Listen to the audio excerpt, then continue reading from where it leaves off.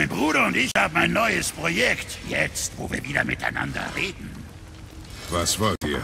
Mit dem Wettstein und dem Hammer, die ihr besorgt habt, können mein Bruder und ich die Vegradikür bauen. Eine legendäre Zwergenrüstung. Wir brauchen nur noch drei mythische Zutaten, bevor wir loslegen können.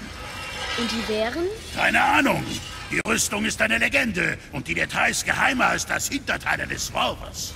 Wir sollen für euch Teile einer Legende finden. Der alte Zwergenkönig Mozognir hat zwei gefunden. Das weiß jeder. Aber als er die dritte gesucht hat... Puff, verschwand er. Vielleicht findet ihr in seiner Festung in Konunsgard Hinweise. Und seht mal hier. Ein Zugangsstein für Konunsgard. Mit euren Namen drauf. Wie seltsam aber auch.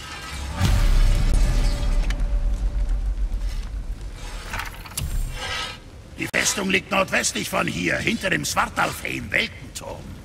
Große Steingebäude, gruselige Atmosphäre, leicht zu erkennen.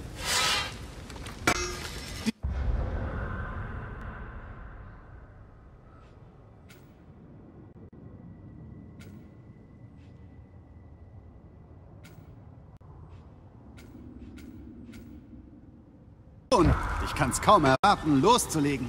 Dass ich den Tag noch erlebe, an dem wir wieder als Duo basteln. Aber es fühlt sich gut an, vor allem für das hier. Hab mich so daran gewöhnt, allein zu arbeiten. Hätte fast vergessen, wie nützlich ein paar helfende Hände sind. Es ist so viel leichter, Skorpschlacke zu schmelzen, wenn jemand anders die Temperatur misst. Das wird unsere bislang beste Arbeit. Wir brauchen nur etwas Hilfe von euch. War eure Reise nach Jötunheim? Lässt du sie vielleicht mal in Ruhe? Der Kleine hat erfahren, dass er ein Riese ist. Da will er sicher nicht ausgefragt werden. Rock, du wusstest? Oh, wir wussten, dass Faye die letzte Hüterin der Jütnar in Midgard war. Darum machten wir ihr die Axt, um die Machtverhältnisse auszugleichen. Nachdem Thor mit unserem Hammer herumgewütet hatte. Am Ende wählte sie offenbar einen anderen Weg. Sie wählte, naja, dich. Euch beide. Sie hat sich wohl gedacht, dass das die beste Überlebenschance für die Riesen sei. Und jetzt, schätze ich, hängt alles von dir ab. Na, sowas! Ein junger Jötten mitten unter uns? Und der Sohn von Laufey, der Gerechten. Wieso habe ich das nicht erkannt? Hast hoffentlich nicht wieder mit deinem Bruder Streit. Tja, Nur weil er mit den Jahren weniger nervtötend geworden ist, heißt das nicht, dass ich nicht meinen eigenen Kundenstamm zu pflegen habe. Ach ja? Wen denn? Tja, ihr seid wieder hier, oder nicht? Stimmt auch wieder.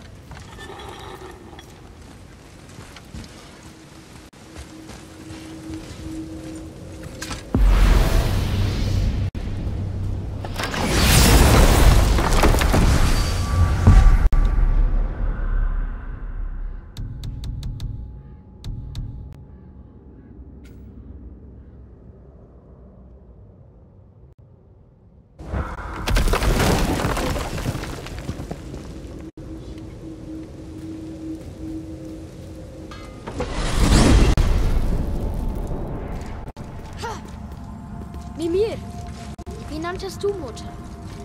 Laufey die Gerechte? Kanntest du sie? Ich hatte nie das Vergnügen. Laufey war ein Gerücht in Asgards Hallen. Eine Kriegerin der Riesen, die viele Pläne der Asen durchkreuzt hat. Sie befreite ihre Sklaven, ernährte, wen sie hungern lassen wollten. Sie ist ihnen in nobelster Absicht auf die Füße getreten. Thor war schrecklich frustriert, dass er sie nie stellen konnte. Als meine Gefangenschaft begann, fragte ich mich, was aus ihr geworden ist und wer sie wirklich sein würde. Dein Stammbaum ist recht einzigartig.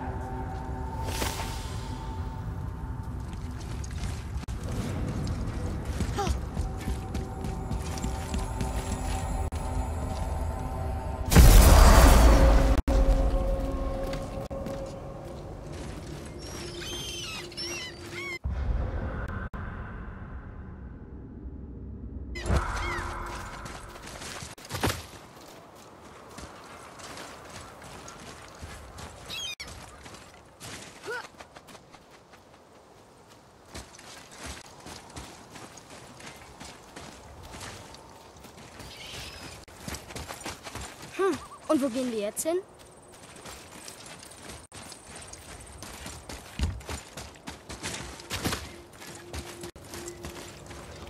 dass ich Doc und Sindri wieder vertragen habe. Jetzt sind sie doppelt so anstrengend.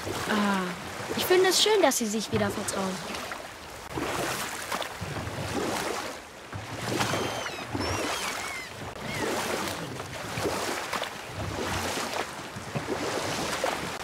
Ich glaube, ich wollte Odin gerade von meiner mystischen Quelle des Wissens unterrichten. Oh, er war zutiefst beeindruckt. Ich weiß nicht, ob das, was er sah, ihn dazu verleitete, sich die Augen ausstechen zu wollen, aber ich konnte ihn rechtzeitig daran hindern.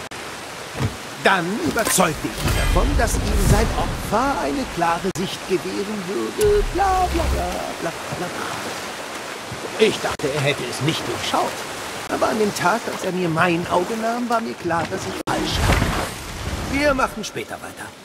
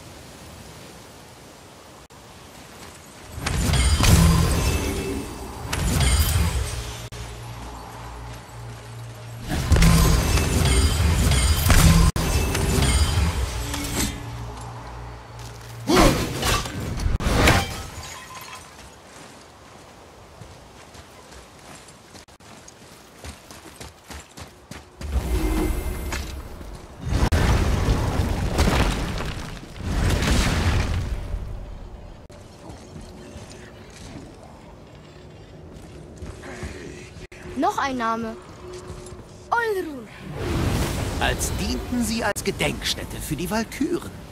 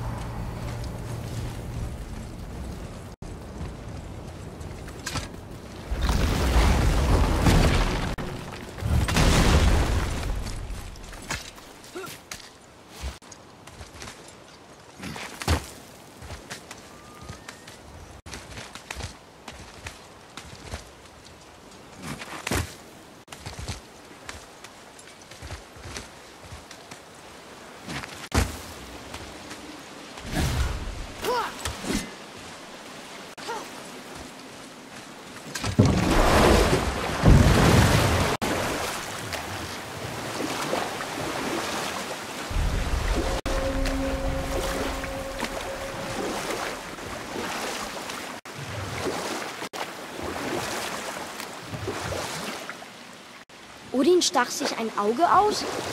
Nur wegen deiner Pilze? Ja. Er wusste, dass ich ihn überlistet hatte, nannte es eine Lektion in Weisheit und heuerte mich an, damit ich von nun an auf seiner Seite gehe. Und für lange Zeit war ich das wirklich. Was nicht heißt, dass er keinen Groll mehr hegte.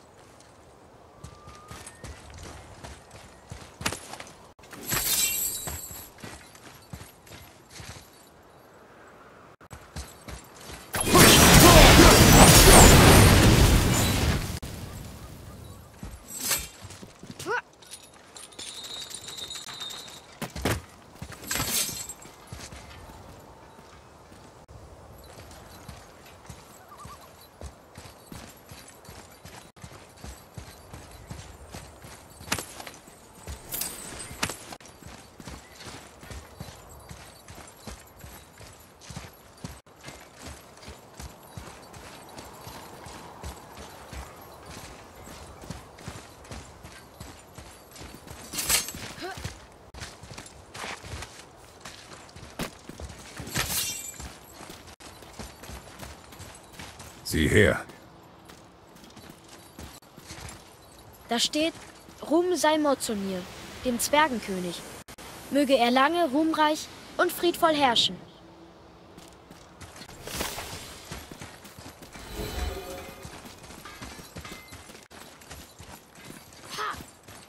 Seid gegrüßt und willkommen in Konsgard. Ich will sicher gehen, dass ihr euch nur gut vorbereitet weiter vorwagt. Dort sind jede Menge Überreste von den üblen Praktiken des verrückten Zwergenkönigs. Welche Art Praktiken? Oh, verschiedene Opferungen. Dunkle Beschwörungen, Blutmagie und so weiter. Leider ziemlich verbreitet unter den Zwergen von damals. Die alten Gewohnheiten.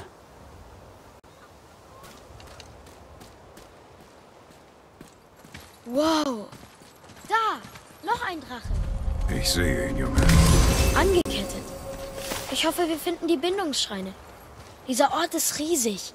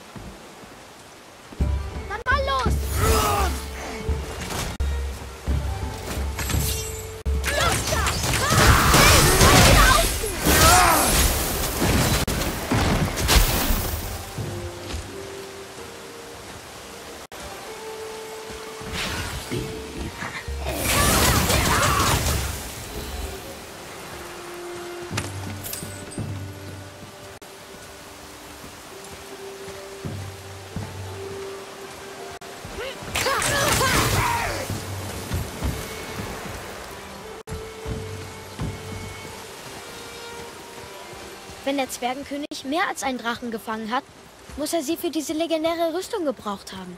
Interessanter Gedanke. Und er ergibt Sinn. Fast alles an Drachen ist nützlich und enthält Macht. Zähne, Schuppen, sogar Exkremente. Exkremente? Scheiße. Drachenscheiße ist mächtig? Ja, Kleiner. Extrem mächtig. Der Kopf zieht dich ein wenig auf. Los da!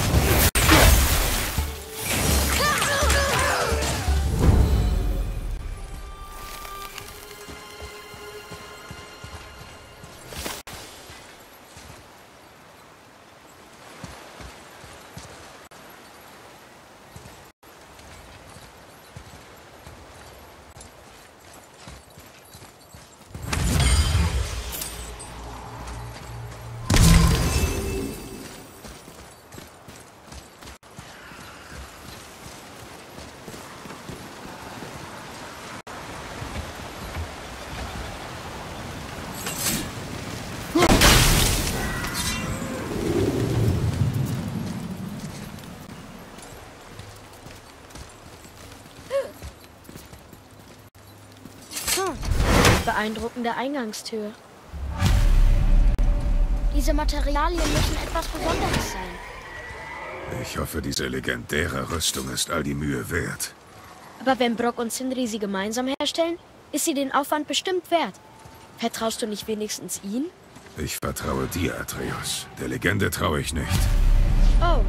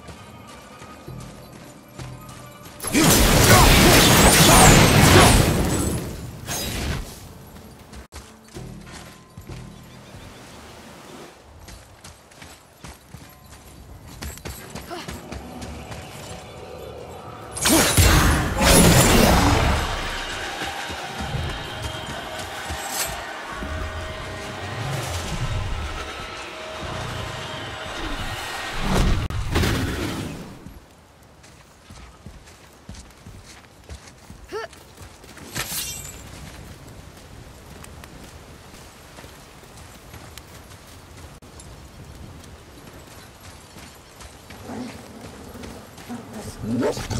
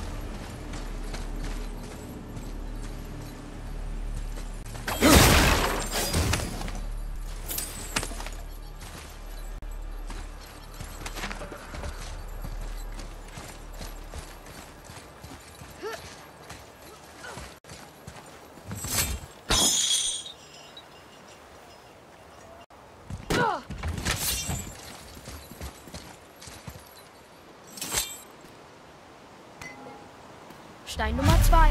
Das hier ist noch größer als Veidurgard. Ja, der Einfluss des Zwergenkönigs war enorm. Was ihm wohl zugestoßen ist? Das ist ein großes Rätsel. Selbst unter den Söhnen Ivaldis. Motsugnirs Verhalten vor seinem Verschwinden wurde zunehmend unberechenbar. Warum? Die Dwegradiker, die gleiche Rüstung, auf deren Suche ihr euch befindet. Zwei Zutaten konnte er finden, doch sein Unvermögen, die dritte zu finden, trieb ihn in den Wahnsinn.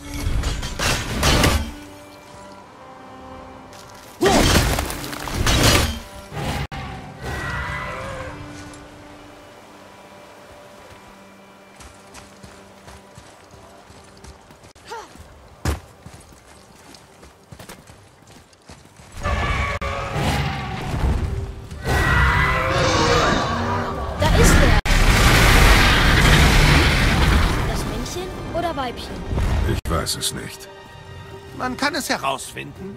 Keine schöne Angelegenheit.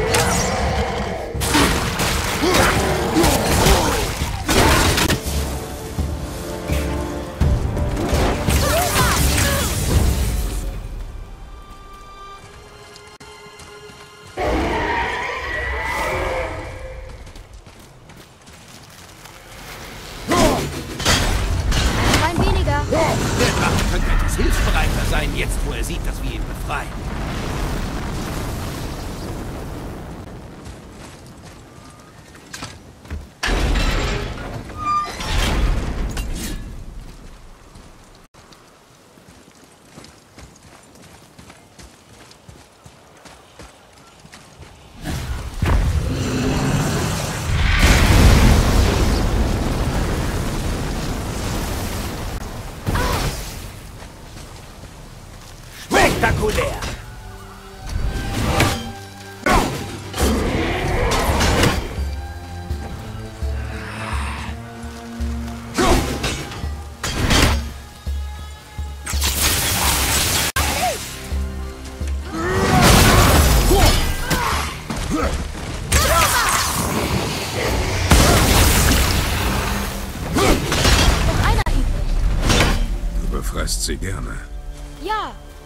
wie immer noch richtig vor.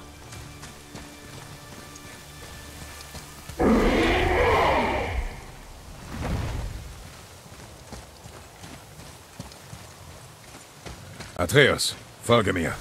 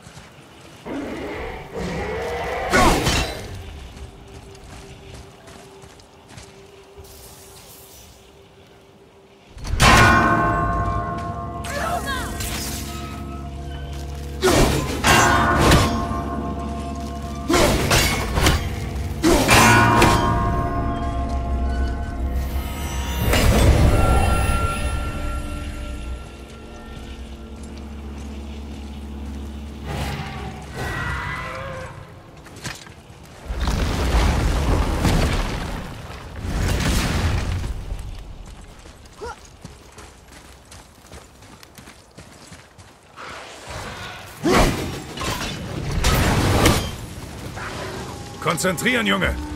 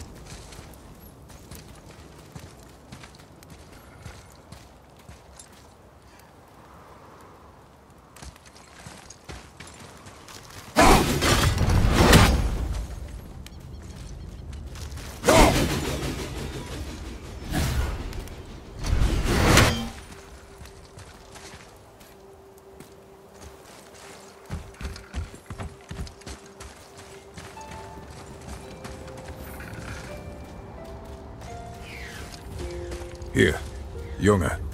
Jawohl. Interessant.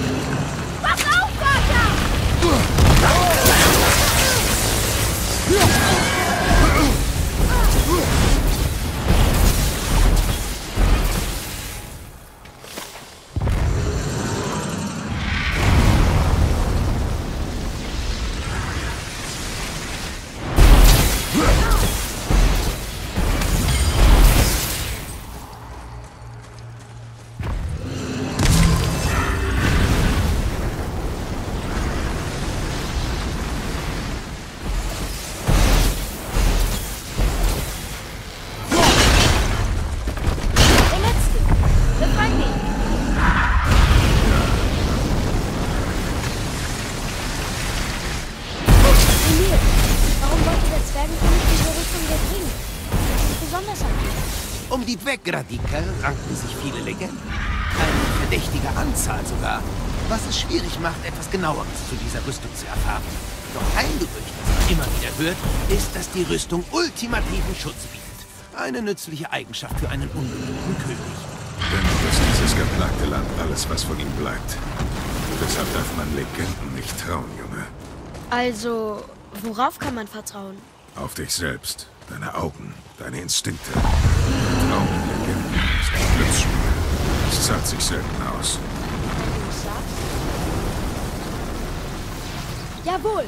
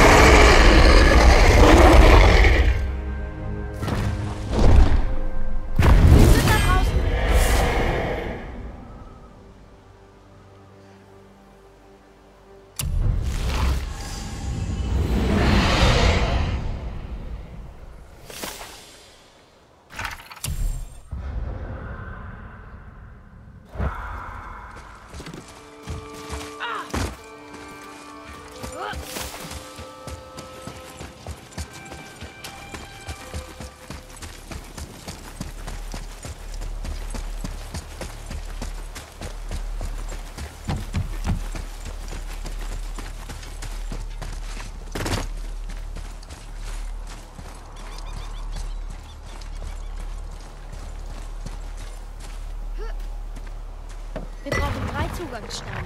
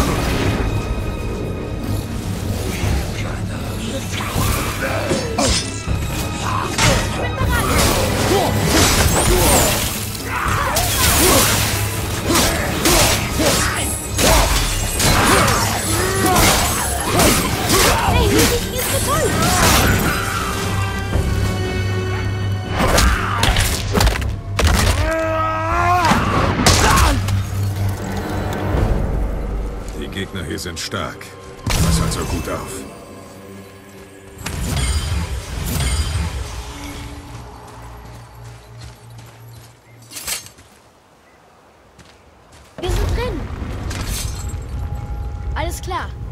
Es geht los.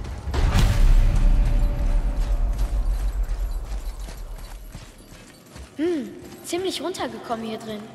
Was hast du erwartet? Weiß nicht. Vielleicht weniger Ruinen. Vielleicht sieht es im Thronsaal besser aus.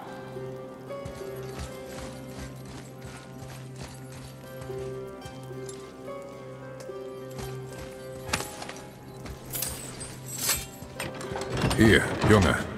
Noch eins. Dakadur. Wow, eine Menge Arme. Das kannst du wohl sagen.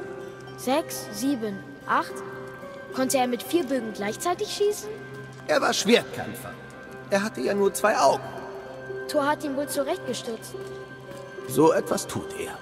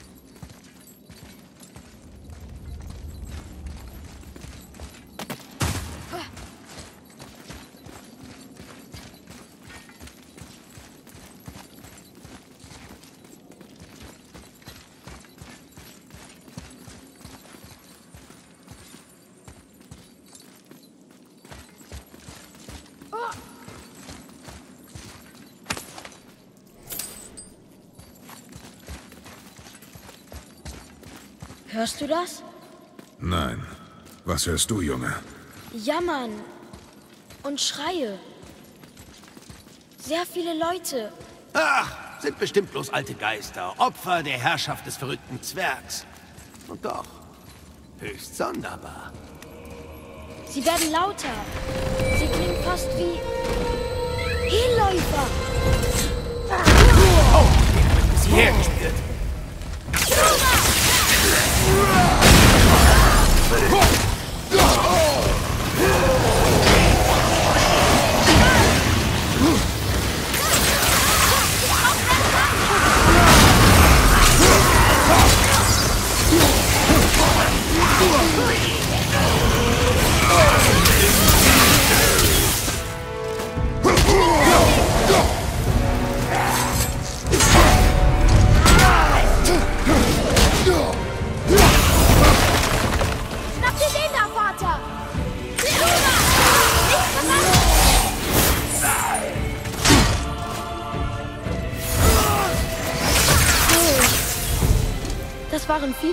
Viele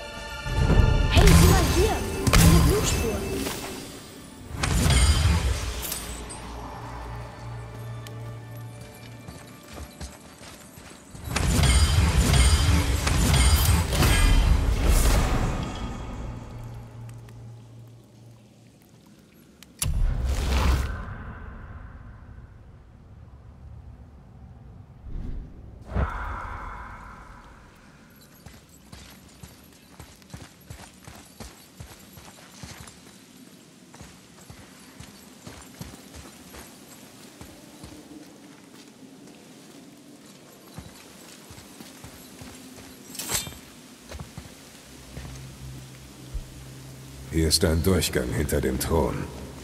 Ein Geheimgang. Tja, wäre wohl kein richtiger Thronsaal ohne Geheimgang.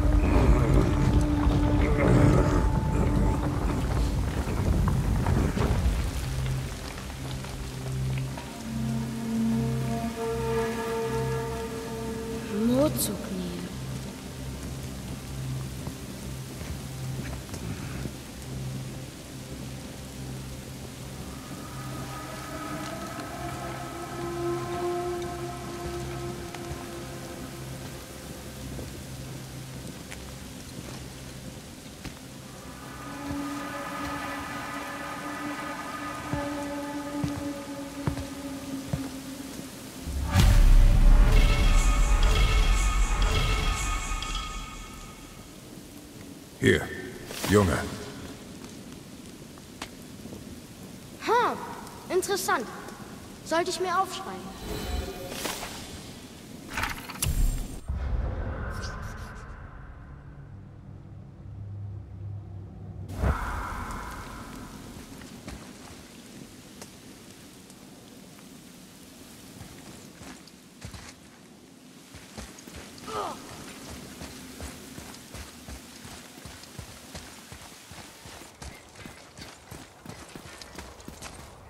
Was du ihm abgenommen hast. Das müssen die drei mythischen Zutaten sein, die Brock gemeint hat. Ich kann mit Sicherheit sagen, dass ich in meinem ganzen Leben keine seltsameren Objekte gesehen habe. Wie sollen Brock und Sindri etwas bauen aus... was immer das ist? Unterschätze nie die Zwerge. Sie sind Mistkerle, aber äußerst geschickt. Sie haben mal aus dem Zahn einer Katze und Vogelspucke eine unzerbrechliche Kette gemacht. Das ergibt doch gar keinen Sinn. So geht die Legende. Von einem abgetrennten Kopf solltest du keine Fakten erwarten.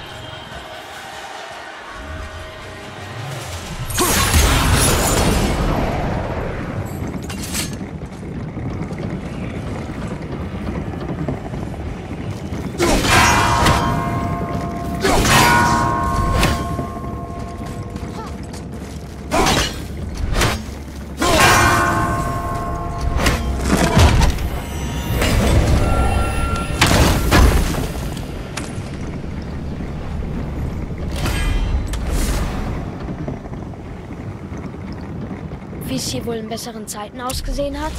In seiner Blüte war Konunsland ein herrliches Land, bevor sich der Zwergenkönig in seiner Besessenheit verlor. Wie konnte er das nur zulassen? Der Zwerg hat blind auf die Legende vertraut, ungeachtet jeglicher Konsequenzen. Dies ist das Ergebnis. Vertrauen ist ein Glücksspiel. Wie du gesagt hast, der Zwergenkönig verlor.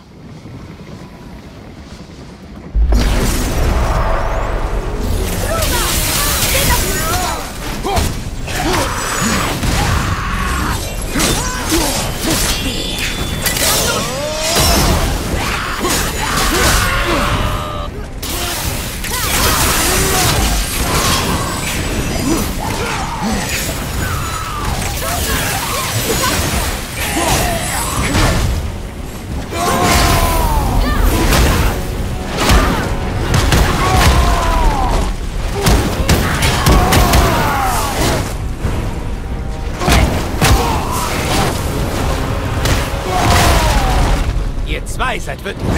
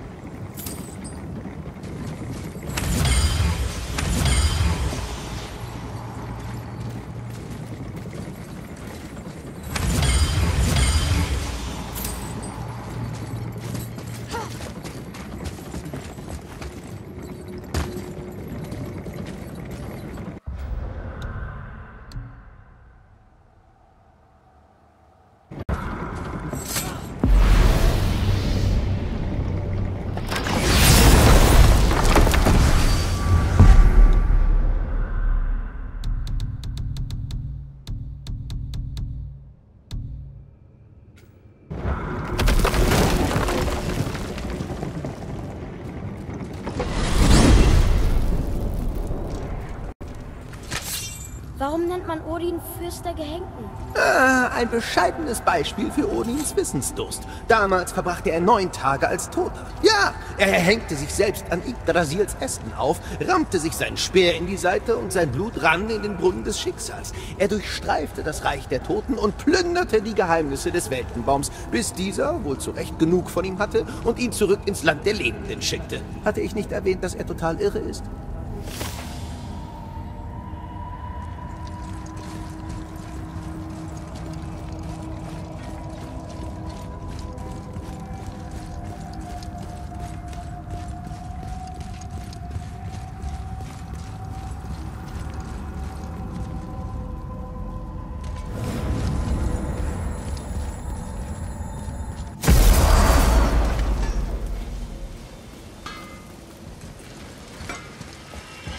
Strahlt ja richtig. Naja, der Kleine jedenfalls.